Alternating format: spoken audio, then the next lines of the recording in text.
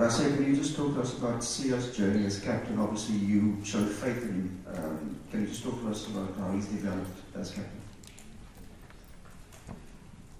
Uh, yeah, I, I think, and uh, to be honest you, with you, the, the initial appointment of Siya as captain, um, uh, my plan never was uh, uh, this big thing to uh, get the country behind us and, and, and um, have, have other plan with Siya, you know, uh, uh, and I'm quite honest with you now, and uh, you'll one day hear from the players how, how Siya was appointed captain.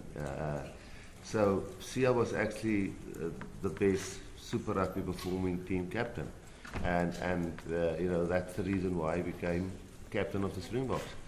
Uh, and you know it was very sudden on him. Uh, I didn't have a lot of conversations with him before that first Test match when he became captain.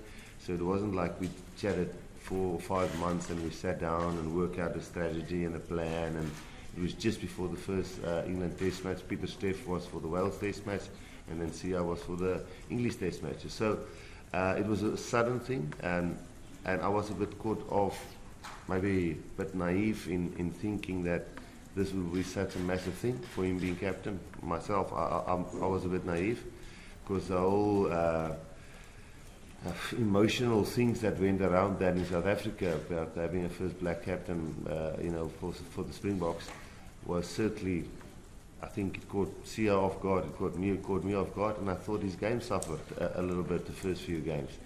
Uh, and then he got better, and then he got better because he's always been a great captain, we all know that.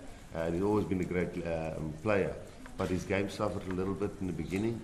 Uh, and then when that got better, he got an injury, and now uh, when he got back from being from the injury, he's, uh, you know, they had to be captain again and we had to slowly get him back into the mix again for the World Cup.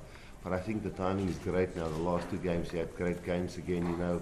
Uh, we also managed his ga game time uh, really well, I think. So I think he's firing fit to have a good final.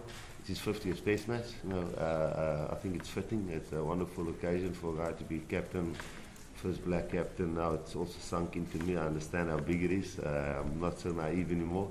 And now for him to run it in his 50th Test match, I think it's a wonderful story. Uh, and for him to handle that emotional, not stress, but emotional uh, extras which uh, come with uh, something that I didn't expect. It's just wonderful uh, and really well done, well done by.